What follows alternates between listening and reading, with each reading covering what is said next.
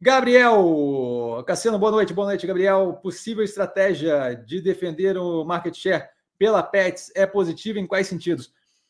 Olha, você não perder é, mercado consumidor na briga por preço, primeiramente evita que eu tenha qualquer tipo de estratégia ali predatória e não sustentável de médio e longo prazo que possa vir a criar um competidor, certo? Então, assim, se eu abro possibilidade de a, a disputa por preço é, se tornar o ponto mais relevante ali, tá? E eu tenho alguém que tem um capital para queimar, que tem uma iniciativa de investimento ali mais disposta a queimar capital por um tempo, que não se incomoda de ter margem bruta negativa por algum tempo para ganhar mercado e poder se sustentar como operação, certo? Criar vínculo com o cliente, com o consumidor, para poder se estabelecer como operação, se eu deixo aquela pessoa, é, se eu deixo aquela empresa é, crescer e de fato começar a ter cliente suficiente para, dado o volume, com algum aumento vago de preço,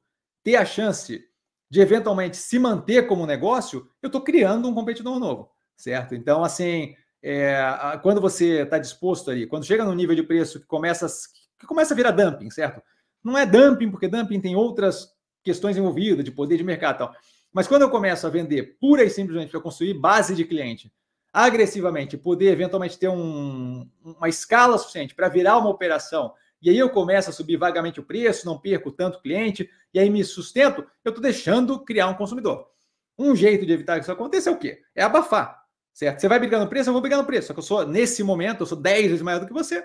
Então, se você vai brigar no preço, eu vou brigar no preço, você, vai, você, não, você não vai durar, certo? Então, esse é o disparado, o ponto mais claro que eu vejo como vantagem a evitar criar, criar competidor na base do, do, do, desconto curto prazista insustentável, só para eventualmente ganhar escala e virar uma operação que possa vir a competir. Esse seria de fato o primeiro ponto. Segundo ponto é justamente a possibilidade de ter manutenção de clientes ali que sejam mais do que só pessoas que por acaso compram na loja da Pets, certo? É gente que tem algum nível de vínculo ali com eles que eles não querem perder de mais longo prazo, que, que usa os serviços ali, que usa.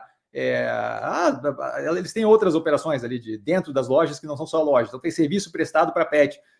Se eu, se eu perco um cliente que, além de comprar ali, tem todo um outro um outro cross-selling, tá? Um, outra venda que tem vínculo com o mesmo objeto ali, que é o, que é o animal, tá? eu acabo perdendo é, não só aquela venda, mas eu acabo perdendo aquela venda atrelada a todo o resto do, do processo. Se essa pessoa se acostuma com outro pet shop, porque é muito mais barato e blá, porque está brigando no preço, eu posso vir a ter mais dificuldade de recuperar esse cliente depois. Então, assim, é, é, é, talvez seja mais positivo dar o desconto agora na briga pelo cliente manter ele ali. Porque essa troca de começar a fazer serviço com outro pet shop, por aí vai, é, é um vínculo mais difícil de trocar. Então, se alguns deles, por acaso, forem a trocar por causa do preço mais barato, e eu venha a perder a confiança na prestação de serviço, tal, para recuperar isso depois é negativo, leva tempo, vai ter um custo de aquisição mais agressivo pelo cliente.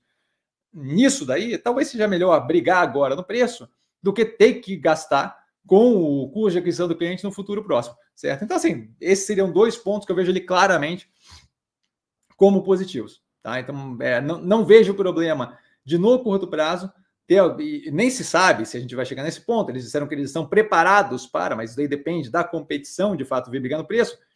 É, mas chegando nesse ponto, não vejo problema de ter algum tipo de pancada no curto prazo para sufocar a competição, certo? Que veio, que, que, que, vem num nível que claramente é predatório e não sustentável, certo? Se se a pessoa briga no preço porque ela é mais eficiente, é uma coisa. Se a pessoa briga no preço para pura e simplesmente ganhar escala, curto prazo, e daí poder é, jogar o preço mais em níveis normais, aí é palhaçada, certo? Aí eu tô, tô, tô, tô deixando criar uma operação que não deveria existir.